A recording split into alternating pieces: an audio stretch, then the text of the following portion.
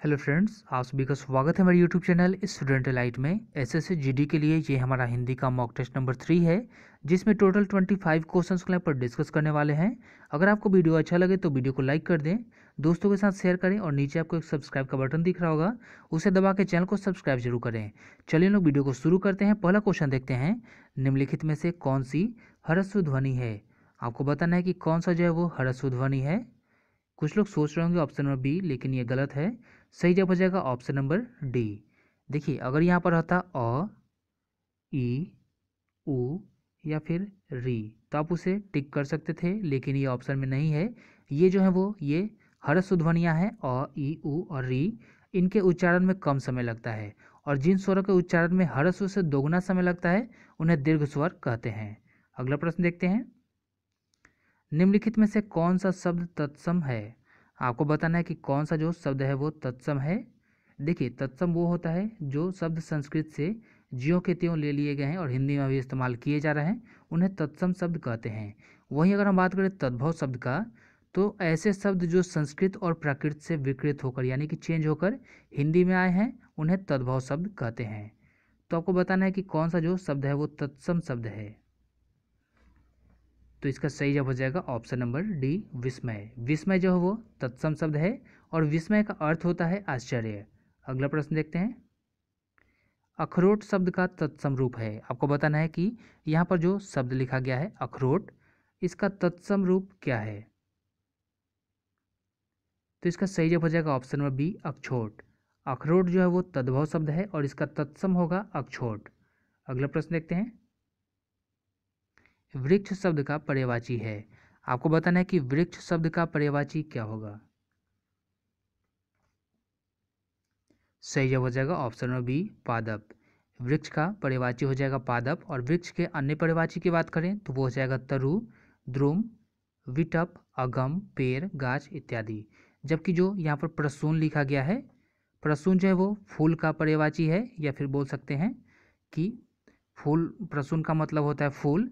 और यहाँ पर जो किंकर लिखा गया है तो किंकर का मतलब होता है दास और हेम का मतलब होता है सोना। अगला प्रश्न देखते हैं। कमल शब्द का परिवाची है। आपको बताना है कि कमल शब्द का परिवाची क्या होगा? तो इसका सही जवाब हो जाएगा ऑप्शन नंबर ए, तामरस। कमल का परिवाची हो जाएगा तामरस। यहाँ पर जो रसाल लिखा गया है तो रसाल का मतलब होता है आम। और जबकि हम बात करें अम्बू का तो अम्बू जो है वो जल का परिवाची है। अगला प्रश्न देखते हैं। श्री गणेश शब्द का विलोम है। आपको बताना है कि श्री गणेश शब्द का विलोम क्या होगा?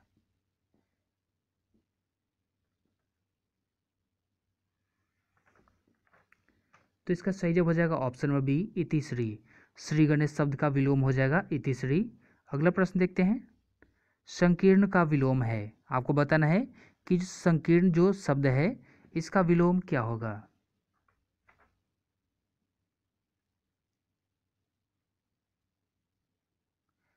सही जवाब हो जाएगा ऑप्शन नंबर डी, विस्तीर्ण। देखिए, संकीर्ण का विलोम विस्तीर्ण होता है, जबकि अगर हम बात करें संक्षेप का तो संक्षेप का विलोम विस्तार एवं विकीर्ण का विलोम आकीर्ण है। अगला प्रश्न देखते हैं। जिसका उपचार न हो सके, के लिए एक शब्द है। आपको बताना है कि जिसका उपचार न हो सके, इसके लिए एक शब्द हम लोग क्या लिख सकते हैं? चार ऑप्शन आपके सामने दिए गए हैं। बताना है कि इसका सही जवाब क्या होगा। सही जवाब हो जाएगा ऑप्शन नंबर बी, असाध्य। जिसका उपचार ना हो सके के लिए एक शब्द है असाध्य। अगला प्रश्न देखते हैं। वीर पुत्र को जन्म देने वाली वाक्यांश के लिए एक शब्द है। वीर पुत्र को जन्म देने वाली के लिए एक शब्द क्या होगा?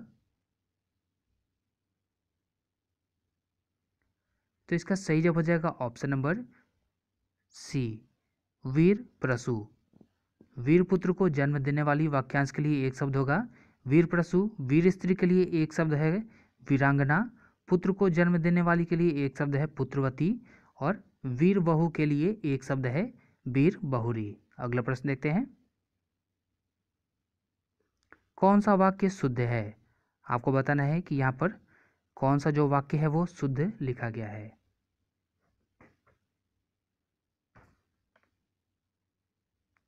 सही जवाब हो जाएगा ऑप्शन नंबर डी। वाह, कितना सुंदर दृश्य है। वाक्य में किसी सुंदर दृश्य का वर्णन किया जा रहा है, जो कि विस्मय बोधक है। अतः ऑप्शन नंबर जो यहाँ पर डी है, वो सही है। अगला प्रश्न देखते हैं। निम्नलिखित वाक्यों में से शुद्ध वाक्य है। आपको बताना है कि कौन सा जो वाक्य है, वो शुद्ध लिखा गया है। सही जवाब हो जाएगा ऑप्शन नंबर ए। यहाँ गन्ने का ताज़ा रस बिकता है। दिए गए विकल्पों में से विकल्प एक यहाँ गन्ने का ताज़ा रस बिकता है। ये जो वाक्य है, ये बिल्कुल शुद्ध लिखा गया है। बाकी जो तीन है, वो अशुद्ध हैं। अगला प्रश्न देखते हैं। आयुष्मान का स्त्रीलिंग है। आपको बताना है कि आयुष्मान जो शब्द लिखा गया है यहाँ पर, उसका स्त्रीलिंग क्या है?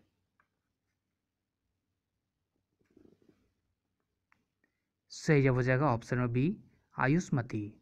आयुष्मान का स्त्रीलिंग हो जाएगा, आयुष्मती। अगला प्रश्न देखते हैं।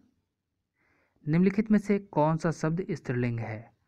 आपको बताना है कि कौन सा जो शब्द लिखा गया है वो स्त्रीलिंग शब्द है। तो इसका सही जवाब हो जाएगा ऑप्शन नंबर सी, मृत्यु। मृत्यु जो शब्द है वो स्त्रीलिंग है, बाकी जो तीन यहाँ पर हैं वो पुलिंग है। अगला प्रश्न देखते हैं। मैंने कुत मैंने कुत्ते से डरकर भागा। इस वाक्य में कौन सा कारक है? मैं कुत्ते से डरकर भागा। इस वाक्य में कौन सा कारक है?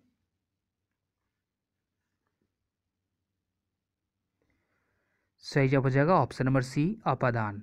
देखिए, जहाँ पर अलग होने, तुलना होने अथवा डर होने की बात की जा रही हो, वहाँ पर अपादान कारक होता है। अतः यहाँ पर सही जवाब हो जाएगा ऑप्शन नंबर सी। अगला प्रश्न देखते हैं। कौन सा वाक्य संबंध कारक का है? आपको बताना है कि कौन सा जो कौन सा जो वाक्य है वो संबंध कारक का है। यहाँ पर चार वाक्य लिखे गए हैं। कौन सा जो है वो संबंध कारक का वाक्य है। सही जवाब हो जाएगा ऑप्शन नंबर सी, मेरी किताब खो गई। देखिए, यहाँ पर मेरी का प्रयोग संबंध कारक दर्शा रहा है। यहाँ पर बता रहा है कि मेरी किताब। अगला प्रश्न देखते हैं। सर्वनाम के कितने भेद माने जाते हैं? आपको बताना है कि सर्वनाम के कितने भेद माने जाते हैं? चार ऑप्शन आपके सामने दिए गए हैं। सही जवाब हो जाएगा ऑप्शन नंबर डी, छः। सर्वनाम के छह भेद हैं। पुरुषवाचक सर्वनाम, निजवाचक सर्वनाम, निश्चयवाचक सर्वनाम, अनिश्चयवाचक सर्वनाम, संबंधवाचक सर्वनाम तथा प्रश्नवाचक सर्वनाम। अगला प्रश्न देखते हैं। तुमने ठीक ही सुना है, इस वाक्य में कौन सा सर्वनाम है? तुमने ठीक ही सुना है, इस वाक्य में कौन सा सर्वनाम है? सही जवाब हो जाएगा ऑप्शन नंबर बी, पुरुषवाचक। तुमने ठीक ही सुना है, इस वाक्य में पुरुषवाचक सर्वनाम है। अगला प्रश्न देखते हैं। निम्नलिखित में से कौन सा शब्द विशेषण है? आपको बताना है कि कौन सा जो शब्द है वो विशेषण है।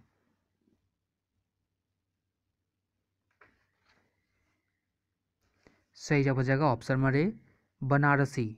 देखिए, बनारसी आप इससे कपड़े की भी विशेषता बता सकते हैं कि ये जो जैसे साड़ी होती है, बनारसी साड़ी, या फिर किसी पुरुष का भी आप विशेषता बता सकते हैं कि ये जो पुरुष है वो बनारसी है, यानी बनारस का है।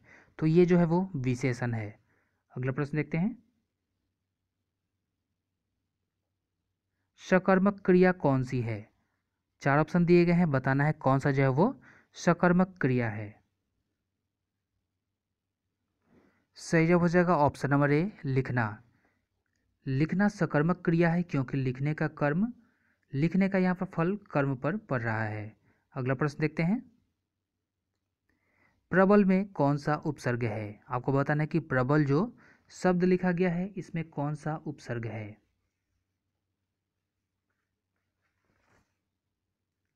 सही जवाब हो जाएगा ऑप्शन नंबर बी, प्र। प्रबल में प्र उपसर्ग है। अगला प्रश्न देखते हैं। संन्यास में कौन सा उपसर्ग है? संन्यास में कौन सा उपसर्ग है? सही हो जाएगा ऑप्शन नंबर डी, सम। अगला प्रश्न देखते हैं।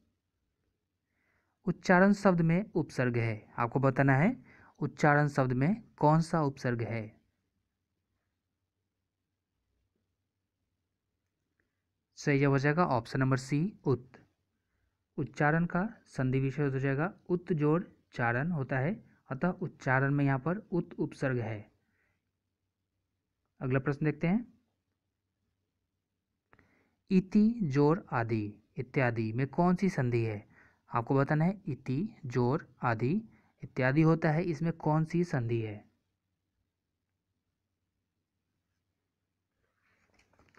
चार ऑप्शन आपके सामने दिए गए हैं। बताना है कि इसका सही जवाब क्या होगा? सही जवाब हो जाएगा ऑप्शन नंबर ए, यन संधि। इसमें ई और आ। ई और आ, ये मिलकर यहाँ पर या हो जाता है। अगला प्रश्न देखते हैं। सदैव शब्द में कौन सी संधि है? आपको बताना है, सदैव जो शब्द लिखा गया है, इसमें कौन सी संधि है?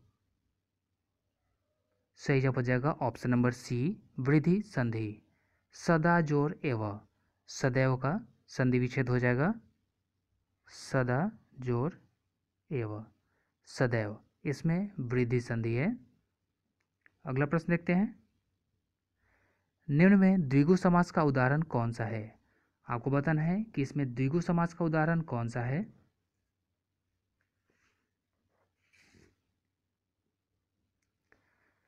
सही जवाब हो जाएगा ऑप्शन नंबर ए, नवरत्न। नवरत्न में प्रथम पद संख्यावाचक एवं अंतिम पद संज्ञा है, जिसका अर्थ नवरत्नों का समाहार। अतः यहाँ पर द्विगो समास है। अगला प्रश्न देखते हैं। गुणहीन में कौन सा समास है? आपको बताना है कि गुणहीन जो शब्द लिखा गया है, इसमें कौन सा समास है? गुणहीन का अगर हम समास विग्रह करेंगे तो होगा गुण से हीन। इसमें करण कारक का प्रयोग किया गया है, अतः करण तत्पुरुष। इसलिए इसका सही जवाब हो जाएगा ऑप्शन बी तत्पुरुष समास। तो ये थे हमारे ट्वेंटी फाइव क्वेश्चन उम्मीद है वीडियो आपको अच्छा लगा होगा। कमेंट करके ज़रूर बताएँ कि पच्चीस में से आपके कितने क्वेश्चन सही हुए। थैंक यू फॉर वॉचिंग जय हिंद।